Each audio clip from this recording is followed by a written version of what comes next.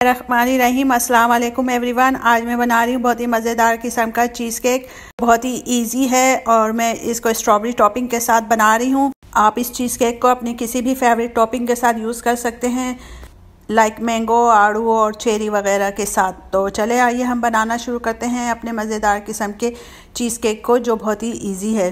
तो easy cheese cake बनाने के लिए हमें चाहिए ये टू पैकेट्स क्रीम चीज़ के हैं, जिनको मैंने रूम टेम्परेचर पे रखा है। वन एट ऑन्स का एक पैकेट है तो तकरीबन ये सोलह ऑन्स हैं दोनों। अंडे हैं, ये वन हना हाफ़ कप हनी गरम गरम से हैं। आप इसकी जगह कोई भी डाइजेस्टिव कुकीज़ लेके उसको क्रश कर सकते हैं। वन टीस्पून वनीला एसेंस है और वन फोर्थ कप ये शुगर है। शुगर यूज़ कर रही हूँ और ये फाइव टेबल स्पून के करीब मक्खन है और टू ना हाफ़ टेबल स्पून ये शुगर है, जो हमें टॉपिंग के लिए चाहिए। स्ट्रॉबेरीज़ भी चाहिए हैं। ये पाँच बड़ी स्ट्रॉबेरीज़ मैं यूज़ कर रही हूँ, मैं फ्रोज़न यूज़ कर रही हूँ। आप इसकी जगह फ्रेश स्ट्रॉबेरीज़ या कोई भी फ्रूट जो आपको पसंद हो वो यूज़ कर सकते हैं। और टू थर्ड कप ये शुगर यूज़ कर रही हूँ। तो चले, आइए हम बनाते हैं। तो सबसे पहले हम बाउल के अंदर ये हनी ग्राम क्रम्स डालेंगे, मक्खन डालेंगे और जो हमारी two and half tablespoon sugar है वो डालेंगे और इन तीनों चीज़ों को अच्छी तरह मिक्स करेंगे। मैं सॉल्टेड बटर यूज़ कर रही हूँ, इसलिए मैं इसके अंदर नमक नहीं डाल अगर आपके पास सॉल्टेड बटर नहीं है तो आप इसके अंदर तकरीबन एक चुटकी नमक डाल सकते हैं। इन तीनों चीज़ों को अच्छी तरह हाथों से मसलूँगी कि ये आपस में अच्छी तरह मिक्स हो जाएँ। अब ये मेरी सारी चीज़ें अच्छी तरह मिक्स हो गई हैं। और पैन के ऊपर मैंने स्प्रे कर दिया। मैं इस पैन के अंदर डाल ली हूँ। आपके पास चीज़ केक पैन है तो आप वो यूज़ कर सकते हैं। अब ये इस तरह मैंने इसको प्रेस कर दिया अच्छी तरीके से। अब हम इसकी फीलिंग तैयार करते हैं। तो फीलिंग बनाने के लिए हम एक बॉल के अंदर जो हमारा चीज़ है ये डालेंगे और इसको अच्छी तरह मिक्स करेंगे। अब ये हमारा अच्छी तरह मिक्स हो गया है। अब हम इसके अंदर चीनी डालेंगे और चीनी डालकर अच्छी तरह मिक्स करेंगे इसको। अभी हमारा अच्छी तरह मिक्स हो गया है। अब हम इसके अंदर एक एक अंडा करके डालेंगे और फेंटते रहेंगे साथ साथ जब ये दोनों अच्छी तरह मिक्स हो जाएँगी तो हम इसके अंदर वनीला एसेंस डालेंगे और वनीला एसेंस डाल के भी हम इसको अच्छी तरह मिक्स करेंगे।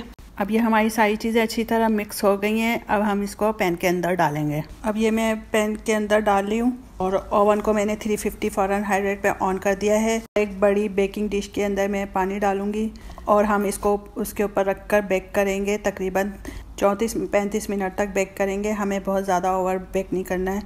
फिर वो ड्राई हो जाता है अगर हम उसको ज़्यादा बेक करेंगे चीज़ केक को तो। अब मैं इसको ओवन में रखूँगी।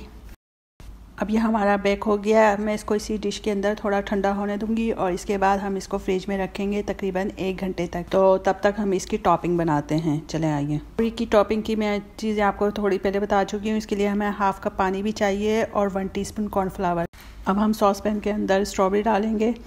पानी डालेंगे इसको थोड़ा पकाएँगे और फिर मैं इसको हैंड ब्लेंडर से मैश करूँगी। आप हैंड ब्लेंडर के यूज़ नहीं करना चाहते तो आप उसको चमचे से ही कर सकते हैं मैश अब ये हमारी थोड़ी पक गई है, अब मैं इसको मैश करूँगी। अब मैं इसको स्ट्रैंड करूँगी। और स्ट्रैंड करने के बाद मैंने पतीली भी वॉश कर दी है। और हम इसको दोबारा सॉस पैन में डालेंगे और इसके अंदर चीनी डालेंगे और इसको पकाएँगे थोड़ा जब तक चीनी मेल्ट हो जाए। अब हम इसके अंदर कॉर्नफ्लावर डालेंगे। फ्लावर आप पानी में घोल के डाल सकते हैं थोड़ा। अब हम इसको मिक्स करेंगे। उस वक्त तक जब ये थोड़ा थिक हो जाए। अब ये हमारा थिक हो गया है, अब हम इसको निकालेंगे और इसको थोड़ा ठंडा करेंगे। हमारा चीज़ केक भी ठंडा हो गया और स्ट्रॉबेरी टॉपिंग भी बन गई है। तो चलें, आइए हम अब इसको काटते हैं। आप इस तरह का चीज़ केक पेन यूज़ करें तो ये ज़्यादा बेहतर होगा। मेरे पास छोटा वाला नहीं था, इसलिए मैंने ये वाला पेन यूज़ करा है। हम टॉपिंग अलग से डालेंगे स्लाइस को काटने के बाद।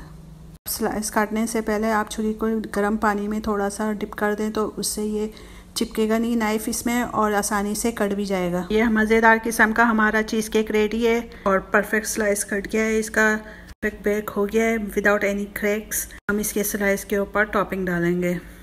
तो ये हमारा मज़ेदार किस्म का cheese cake easy way ready हो गया है। आप लोग इसको बनाइएगा और इन्जॉय करिएगा और मुझे ज़रूर बताएगा कि आपको कैसा लगा ये ईजी चीज़ केक हम फिर मिलते हैं नेक डिश के साथ।